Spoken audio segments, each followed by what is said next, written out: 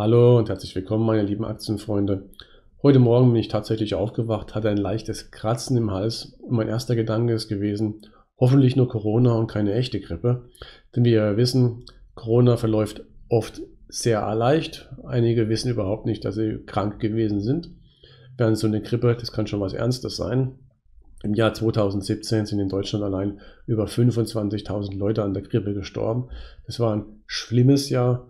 Und äh, bei Corona, ja, da ist eigentlich das Schlimmste, das habe ich das Gefühl, was die Gesellschaft, also was wir draus machen, Hamsterkäufe oder ähm, mir ist jetzt der Kapitalgipfel abgesagt worden, der hätte am Freitag, an diesem Freitag stattfinden sollen in München. Mal gucken, ob die Invest in Stuttgart stattfindet nächsten Monat. Und ja, die Börsenkurse, die brechen ja auch immer mal wieder ein und erholen sich wieder sehr schnell, als ob die tatsächlich krank gewesen wären, kurzzeitig von Corona. Auch das Starterdepot wurde etwas von Corona infiziert. Das sehen wir dann gleich noch. Ich möchte das Ganze jetzt nicht komplett ins Lächerliche ziehen. Also ich nehme das schon ernst. Das, was wir draus machen, nehme ich sehr ernst. Ich nehme durchaus auch ernst das Virus an sich, aber ich denke, man muss es irgendwo in die rechte Perspektive rücken. Und wie so oft, äh, wenn hier eine Sau durchs mediale Dorf getrieben wird, da kommen dann, da, die Verhältnisse geraten da so ein bisschen durcheinander.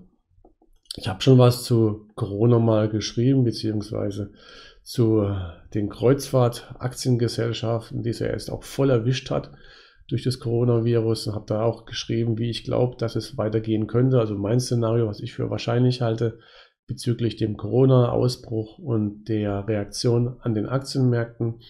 Das kannst du in dem Artikel ja nachlesen. Ich glaube übrigens, dass wir das Schlimmste noch nicht überstanden haben, äh, weil, wir die, weil die Anzahl der Infektionen ja noch weiterhin steigt und der Krankheitsverlauf, der ist oft so milde, dass Leute gar nicht merken, dass sie krank sind. Und das Virus ist zwar prinzipiell meiner Meinung nach, nach allem, was ich weiß, harmloser im Krankheitsverlauf als eine saisonübliche Grippe auf der einen Seite, aber auf der anderen Seite trotzdem sehr ansteckend und ein paar Unglückliche erwischt es halt dann doch schwer. Nun ja, aber die Welt wird sich weiter drehen, mit oder ohne Corona, wie Coronavirus. Und äh, wir werden auch weiterhin in langfrist, langfristig investieren in Aktien, um von langfristig steigenden Kursen und Dividenden zu profitieren. So wie wir es eben schon mit dem Starterdepot machen. Bevor wir aber zum Starterdepot kommen, gibt es noch was anderes, nämlich die Consorsbank, über die wir das Starterdepot im Rahmen von Aktiensparplänen besparen, hat jetzt das Routing geändert. Nach Jahren haben sie es geschafft, das Routing zu ändern. Und leider ist dabei auch was schiefgelaufen. Das kenne ich auch vom Aktienfinder, wenn ich ein neues Feature implementiere. Und äh, ich habe es doch getestet, aber ab und zu läuft dann doch erstmal was schief und dann muss man es korrigieren. Ich sage nur dazu, shit happens. Es ist nicht schlimm, meiner Meinung nach es kommt immer darauf an, was man daraus macht und dass es dann langfristig gesehen stimmt und besser ist. Und genau damit äh, beschäftigen wir uns jetzt zuerst. Also was passiert ist, ist, einige Sparpläne sind doppelt ausgeführt worden. Ob die jetzt in echt doppelt ausgeführt worden sind oder ob das jetzt äh, nur falsch angezeigt wird, sei mal dahingestellt. Auf jeden Fall sieht es für den normalen Kunden so aus, als ob viele Sparpläne doppelt ausgeführt worden sind. Und die ganz hartgesottenen haben sich darüber gefreut, weil das zu Tiefskursen ausgeführt wurde. Also die Börse ist gerade mal wieder, hatte gerade wieder so einen Corona-Nieser gehabt. Und die äh, Ängstlichen, die haben so gedacht, oh Hilfe, doppelt ausgeführt, was soll ich tun? Naja, alles, oder dazwischen gab es natürlich auch was. Und äh, ich habe das Ganze jetzt mal hier, also momentan haben wir noch Doppelbuchungen drin. Ich habe aber einfach mal hier für dieses Video und für die Auswertung das Ganze so verbucht bei mir intern im System, als wenn es die Consorsbank von Anfang an richtig gemacht hätte. Das heißt, alle Sparpläne hier nur einmal ausgeführt. Das ist das Standarddepot bei mir intern. Und ähm, das heißt, hier können wir uns das jetzt schon mal angucken. Und wenn es die Consorsbank geschafft hat, dann wird es bei denen genauso aussehen wie bei mir in diesem Fall. Also dann sind alle Sparpläne noch einmal ausgeführt worden. Also es entstehen hier für niemanden irgendwelche äh, Kosten oder irgendwas, irgendwas Nachteiliges. Und wie gesagt, shit happens, es ist nicht schlimm, wenn da während einer Umstellung ein Fehler passiert. Meiner Meinung nach, ich kenne das jetzt vom Aktienfinder, äh, wichtig ist, dass es später besser ist, als es vorher war. Und das gucken wir uns jetzt zuerst mal an. Da habe ich mal hier, obwohl ich Excel eigentlich hasse, wieder so eine kleine Excel-Tapete gemacht. Und ich habe einfach die Ausführungskurse und die Aufschläge auf die Ausführungskurse verglichen, so wie es im Februar war, also noch im alten Routing, das über München lief, die Börse, und dem neuen Routing, das jetzt über Xetra, nicht über Xetra, über TradeGate läuft. Um 9.30 Uhr wird das ausgeführt. Als Referenzkurse habe ich dann für neu, also für die Ausführung im Februar, Xetra genommen, die ja auch schon aufhaben um 9.30 Uhr. Und als Referenzkurse hier für den Februar, als es noch über München geroutet wurde, die Sparplanweitergabe, habe ich die Schlusskurse der Hauptbörsen jeweils genommen. Da war die Ausführungszeit, wenn ich mich richtig erinnere, 8.30 Uhr. Da hatten also die, sowohl die europäischen als auch die amerikanischen Börsen noch geschlossen. Vielleicht hat da schon eine oder andere europäische Börse auf in Osteuropa, aber das ist für unseren Fall irrelevant. Gut, und äh, ich habe dann mir halt die Mühe entsprechend gemacht und die ganzen Referenzkurse rausgesucht und die Differenz dazu ausgerechnet. Ich mache das mal ein bisschen größer vielleicht, falls du auf dem winzigen Handy das Ganze schauen solltest. Und hier siehst du die Aufschläge, die waren von teilweise recht niedrig, von 0,2% bis aber teilweise äh, über 3%, wie bei Adidas, Diageo zum Beispiel oder Tencent. Und das waren die alten Aufschläge. Und dann haben wir hier die neun Aufschläge zum Referenzpreis, also hier Xetra. Und das, ja gut, wir haben sogar einen bei Texas Instruments, der ist negativ. Ob das jetzt alles auf den Cent genau stimmt, teilweise habe ich es von Chartprogrammen abgelesen, aber im Großen und Ganzen äh, sollte es richtig sein und äh, definitiv auch eine repräsentative Aussage rauskommen. Ich habe auch hier mit entsprechend die Wechselkurse äh, mit berücksichtigt. Wenn ich nicht von Xetra die Preise abgelesen habe, ist natürlich alles in Euro, sondern von den Schlusskursen der jeweiligen Hauptbörsen. Das war ja für Tencent beispielsweise Hongkong. Oft war es die USA, für Novo Nordisk war es dann zum Beispiel Kopenhagen. Das Wichtige ist jetzt aber hier der Vergleich der Aufschläge zu den Referenzpreisen, Referenzkursen einmal bei Tradegate, das ist die neue Welt, und München, das ist die alte, und hier ist dann Differenz. Immer wenn wir hier was Grünes sehen, dann ist der Aufschlag zugegangen, das ist gut, das ist in unserem Sinne. Wenn es rot ist, dann haben wir einen höheren Aufschlag gezahlt als vorher. Und du siehst, wir haben mehr Grün als Rot. Wir haben 20 Sparpläne, die wir besparen.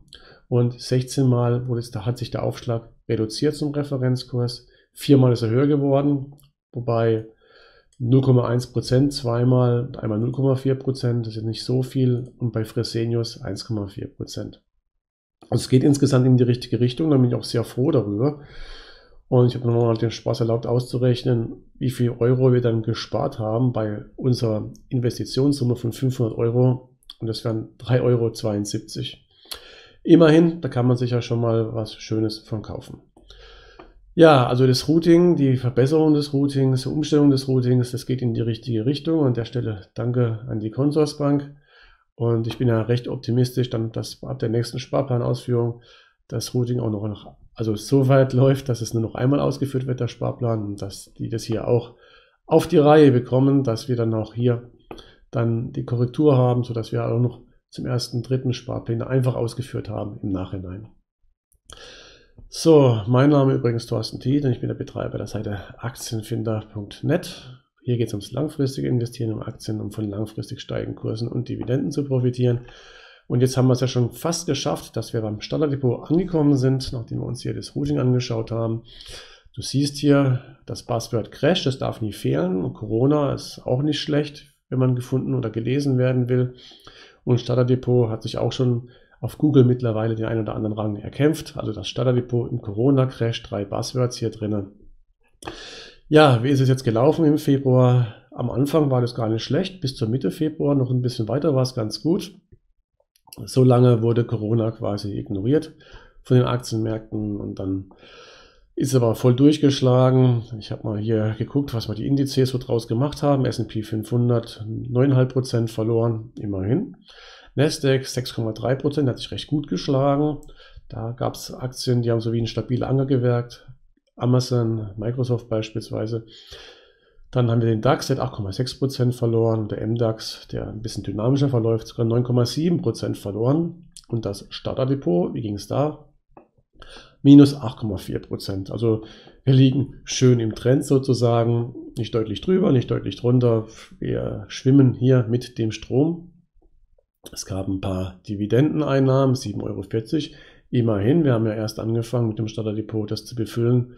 Sehr langsam, sehr bedacht, muss man sagen.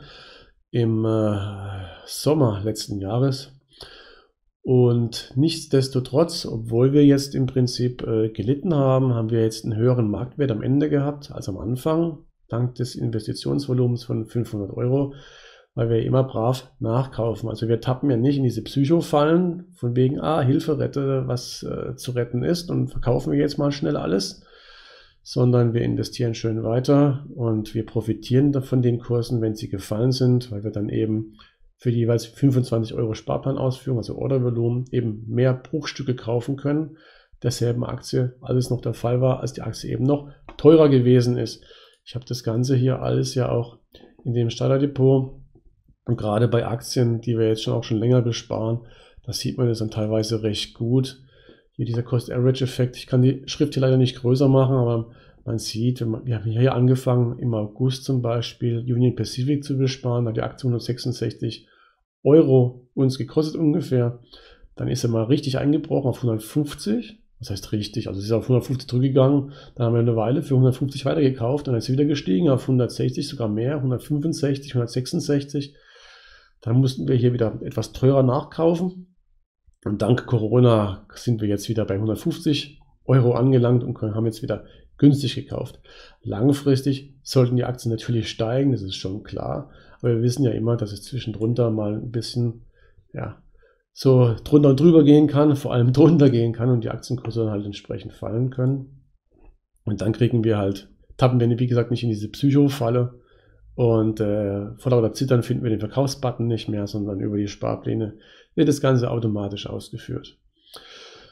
Ähm, Gut, wir können uns jetzt immer noch, ich habe hier ein bisschen was geschrieben auf dem Blog wachstumswerte.net, worum es eigentlich jetzt wirklich nochmal geht, dass wir in erfolgversprechende Qualitätsaktien investieren. Das machen wir definitiv. Ich zeige dir nochmal ganz kurz an das Starterdepot, wie es aussieht. Wir haben uns ja wirklich Zeit gelassen und äh, Aktien analysiert, haben immer Alternativinvestments noch angeschaut und abgestimmt und am Ende haben wir in eine, für uns für eine der Qualitätsaktien entschieden, entsprechend unserer Investmentstrategie. Und dann müssen wir diese Qualitätsaktien natürlich nicht heute kaufen und morgen wieder verkaufen, sondern wir müssen die Dinge langfristig halten und da eben auch durch Krisen und echte Crash, das war ja noch kein echter Crash, auch mal hindurchkommen. Gut. Ja, das hier ist im Prinzip schon das Fazit. Ruhe bewahren und weiter investieren. Und das fällt uns eben relativ leicht, weil wir es über Aktiensparpläne machen und weil wir hier nicht so ein Blackbox-Investing machen und weil wir nicht Aktien gekauft haben, weil es unser Nachbar empfohlen hat, sondern weil wir uns wirklich mit der Materie beschäftigt haben. Und wir haben uns mit der Materie beschäftigt, weil es uns halt auch Spaß macht, Aktien zu analysieren und weil wir wissen, dass Aktien Anteil vom Unternehmen sind und das Unternehmen echte Gebilde hier sind, Teile der Wirtschaft sind und weil uns halt auch Spaß macht zu gucken, was in der Wirtschaft so geht, ist es eben ein Teil vom echten Leben. Ne? Und hier sehen wir nochmal, wie die einzelnen Positionen gelaufen sind. Tencent hat es doch tatsächlich gewagt äh, zu steigen. Die Aktie, alle anderen sind gefallen. Äh, ja, Cisco am meisten, Adidas, Union Pacific. Hier sind die Aktien sind eben am stärksten gefallen. Und dann haben wir hier Aktien, die sind relativ schwach, haben relativ schwach abgegeben. Wie gesagt, Tencent ist sogar gestiegen. Und hier gab es ja auch schon Dividenden. Du siehst, waren relativ viele Dividenden angefallen. 1, 2, 3, 4, 5, 6, 7, 8 neun sogar, also neunmal nach dem Ex-Date hatten wir jetzt schon Dividende kassiert.